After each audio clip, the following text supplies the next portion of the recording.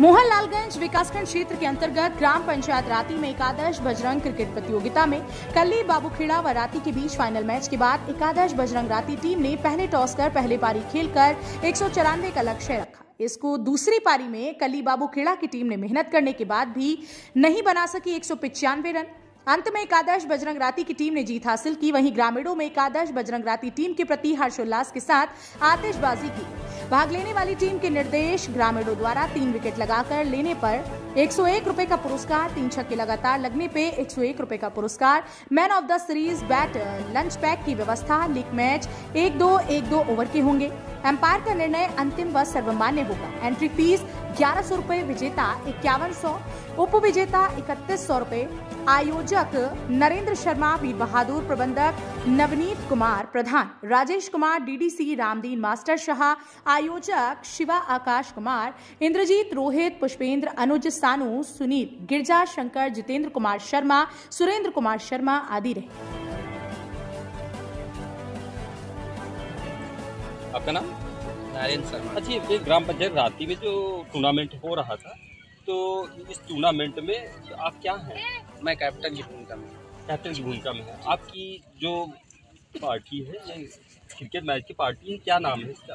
बजरंग एकादश। बजरंग एकादश। यहाँ पर जो टूर्नामेंट हो रहा बजरंग एकादश और आपके और किसके बीच मैच हो रहा था? कल्ली बाबू खेड़ा। कली बाबू खेड़ा। तो स्कोर कितना था यहाँ पर? स्कोर मैं हम लोगों ने पहले बैटिंग करते हुए एक सौ पंचानवे रनों का स्कोर दिया था जो कि वो लोग चेस नहीं कर पाए किस नहीं कर पाए। और दूसरी पारी जो खेल रही थी उनके कितने रन बने? एक सौ चालीस है एक सौ अड़तीस के करीब। अच्छा जो ये जीत हासिल की इसके लिए आप क्या कहना चाहेंगे? हम अपनी पूरी टीम और अपने पूरे राती गाँव के सभी व्यक्तियों का एकादशी जो ये क्रिकेट मैच हो रहा था यहाँ पर ये आपके वहाँ पहली बार हो रहा था? जी जी पहली बार हो रहा है अच्छा इससे क्या लगता है आपको कि जो यहाँ पर ग्राम पंचायत आती में जो ये मैच खेला जा रहा है टूर्नामेंट ये हर साल हो क्या? बिल्कुल हर साल हम इसी इसी कोशिश को लेकर हम लोग पहली बार शुरुआत किए हैं और चाहते हैं कि हर वर्ष ये टूर्नामेंट होता रहे और सभी खिलाड़ी आगे आएँ और सब लोग खेलें इस टूर्नामेंट को। हमारे साथ देखिए यहाँ पर ग्राम प्रधान भी मौजूद है इससे भी बात करेंगे आइए बात करें प्रधान जी आप? नवनीत कुमार। ग्राम पंचायत राती से। अच्छा ये बताइए प्रधान जी कि यहाँ पर जो है आपके वहाँ जो नौ युवक लोगों के लिए जो टूर्नामेंट का इंतज़ाम किया गया है इस बार पहली बार किया गया है? जी नहीं दोबारा हुआ है लेकिन हमारे इसमें तो पहली बार ही हुआ है। ये टूर्नामेंट जो हुआ है पहली बार अच्छा हुआ है। अच्छा तो इससे आपको क्या लगा जो इस बार टूर्नामेंट हुआ है? इससे आपको क्या अंदाज़ा लगा है कि क्या होना कैसे ग्राउंड और बनना चाहिए या अच्छा होना चाहिए? इसके इसके बाद एक साल बाद ही और अच्छा बनेगा ग्राउंड इसमें काफ़ी काम हुआ है। यहाँ पर लोगों में क्या उत्सुकता मिली है आपको टूर्नामेंट में? मैच को देखने के लिए बहुत सारे दर्शक आते हैं बहुत अच्छा लगता है। बाहर से भी आते हैं लोग। तो ऐसा ये क्या टूर्नामेंट हर साल जारी रखना हाँ हर साल होगा ये टूर्नामेंट हर साल होगा। हाँ इसी समय। अच्छा ये बताइए क्या अपील कुछ अपील करना चाहेंगे?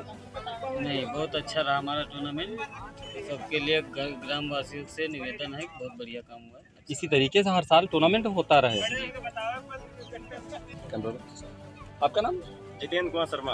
अच्छा ये बताइए कि आप यहाँ पर कमेंट कमेंटेड थे जी जी मैं। कमेंट्री कर रहा था। कमेंट्री कर रहे थे में कमेंट्री किया तो यहाँ पर देखने को बहुत हर्ष उल्लास मिला है हमको। कमेंट भी हम देखे एक घंटा रहे यहाँ पर। जी जी। तो यहाँ पर दर्शक भी बहुत मौजूद थे और जैसे आप कमेंट कर रहे थे बहुत अच्छी कमेंट कर रहे थे तो दोनों टीम जैसे खेल रही थी। तो दोनों टीम खेल रही थी तो आपको क्या महसूस हो रहा था? महसूस ये हो रहा था कि जो अच्छा खेलेगा वही इस टूर्नामेंट का विजेता होगा। तो जहाँ तक बता दें, बजरंग एकादश राती ने अच्छा पहले ओपन किए, सलामी बल्लेबाज देखे गए अच्छा खेले हैं। एक सौ चौरानबे का लक्ष्य बनाई और एक सौ पंचानबे दिया था जीत के लिए। लेकिन शुरुआत में बाबू खेड़ा के भी प्लेयर अच्छा खेले हैं लेकिन थोड़ा बहुत देखने को मिला कि एक तरीके से ज़िम्मेदारी वाला कोई प्लेयर नहीं खेला। आपके गाँव में हमने देखा कि जो बहुत सारे युवा हैं लड़के उनमें बहुत बड़ा हौसला एक बढ़ा हुआ है कि हमारे वहाँ जो ग्राम पंचायत राती में जो टूर्नामेंट ये हो रहा है तो इससे क्या लोगों में उत्सुकता और बढ़ेगी? जी बिल्कुल क्योंकि हमारे यहाँ ग्राम प्रधान नवनीत कुमार जो युवा हैं खुद ही और वो चाहते हैं कि हमारे यहाँ जितने युवा पीढ़ी पनप रही है ये अच्छा खेले। अगर हम टूर्नामेंट कराएँगे तो बच्चे देखेंगे तो प्रतिभाशाली रहेंगे। तो यही हमारा लोगों का उद्देश्य है कि आगे चलकर इससे बड़ा टूर्नामेंट हमारी ग्राम पंचायत राती में हो।